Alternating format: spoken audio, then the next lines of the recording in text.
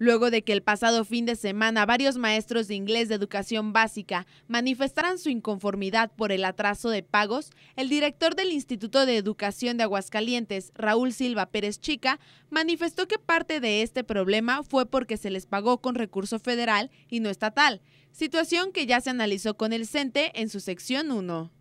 se derivó de que el propio sindicato nos pedía un adelanto del pago de los maestros. Nosotros solamente tenemos dinero federal en este momento, solamente es dinero federal, no hay dinero estatal. Y en ese momento nosotros eh, adelantamos dinero federal y ese fue de alguna manera el problema que los maestros dijeron que pues, no, no era dinero del que ellos querían, ellos querían dinero estatal. Nosotros ahorita nos vemos impedidos y pues esperamos nosotros que, que defina el CENTE en este caso si tiene una alternativa distinta o la alternativa que nosotros estamos ofreciendo de contratación.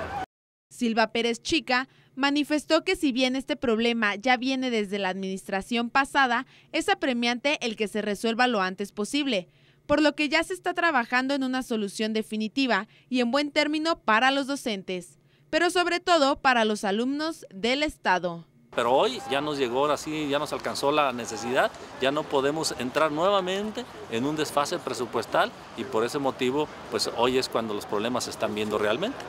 Con imágenes de Juan Miguel Villalobos e información de Adrián Martínez, Ilse Dantán.